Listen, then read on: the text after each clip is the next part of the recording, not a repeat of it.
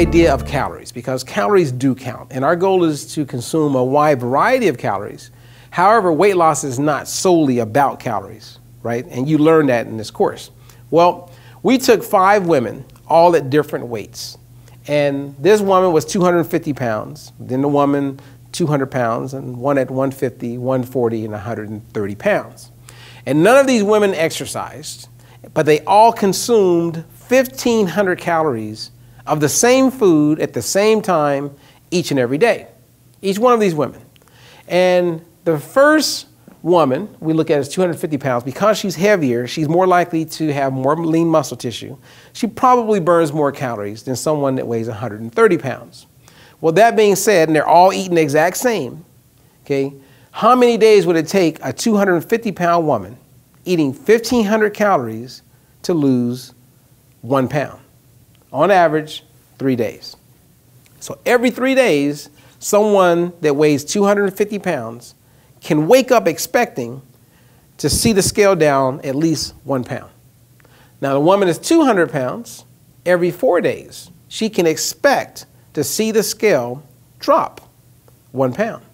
Now, the woman that's 150 pounds, well, she's not going to get the results of someone that's 200 or 250 pounds because we all like burn calories differently. And the heavier you are, you tend to burn more calories. But looking just at how we burn calories, the 150 pound woman, it will take her 12 days eating the same food as the 250 pound and the 200 pound woman, eating the exact same food, 1,500 calories, to drop one pound. Well, the woman is 140 pounds, we're looking at 20 days. Woman is 130 pounds, we're looking at 40 days. See, 1,500 calories for a woman that weighs 130 pounds, that's around the amount of calories she would consume daily to stay around that weight and not gain weight. So again, each and every one of us is different. But I bring this up to illustrate this point.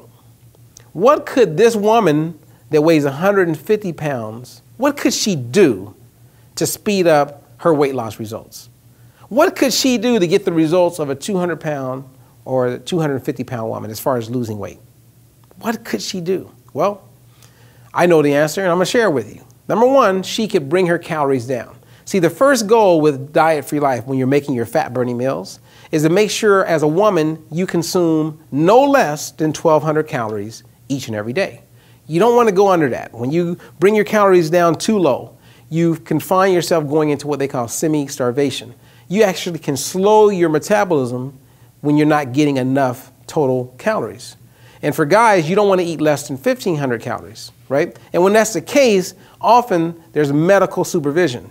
And we're not talking about medical supervision with Diet Free Life. We're talking about a lifestyle, something that makes sense. So if you're getting that minimum amount of calories, 1,200 calories for a woman, then we're in a pretty good place, right?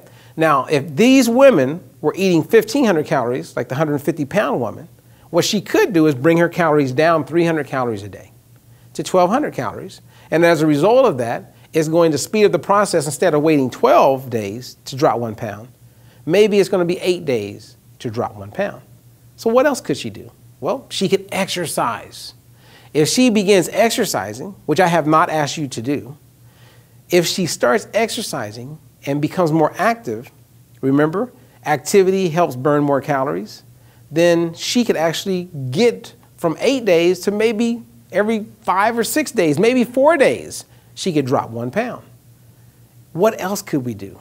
Well, we could sleep better we could um, walk around and, and, and be happy, build our meals the way we're doing it. I mean, you know, right? So you have a week behind you of how you made fat burning meals. Could you improve on that? Could you improve on your fat burning snacks?